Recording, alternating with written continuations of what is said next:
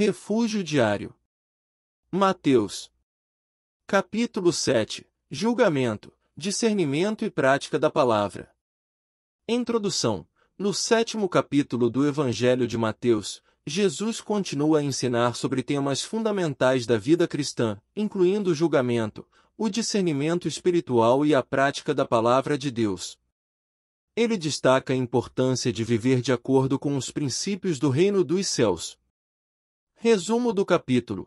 Jesus adverte contra o julgamento precipitado e hipócrita, incentivando seus seguidores a primeiro removerem a trave de seus próprios olhos antes de tentarem remover o cisco nos olhos dos outros. Ele enfatiza a importância do discernimento espiritual e da sabedoria na avaliação das situações e das pessoas.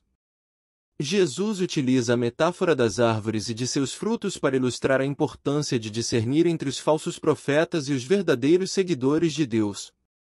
Ele adverte contra a falsidade e a aparência externa, exortando seus discípulos a conhecerem os verdadeiros profetas pelos seus frutos. Em seguida, Jesus fala sobre a importância de praticar a palavra de Deus. Ele compara aqueles que ouvem suas palavras e as praticam a um homem prudente que constrói sua casa sobre a rocha, resistindo às tempestades da vida.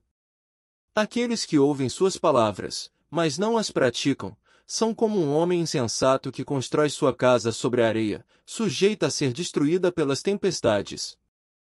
Conclusão do capítulo. O sétimo capítulo de Mateus destaca a necessidade de julgamento justo, discernimento espiritual e prática da palavra de Deus na vida dos seguidores de Jesus. Ele nos desafia a vivermos de acordo com os princípios do reino dos céus, demonstrando amor, sabedoria e obediência em todas as áreas de nossa vida. Este capítulo nos lembra da importância de uma base sólida em Cristo para enfrentarmos os desafios e as adversidades da vida com firmeza e segurança.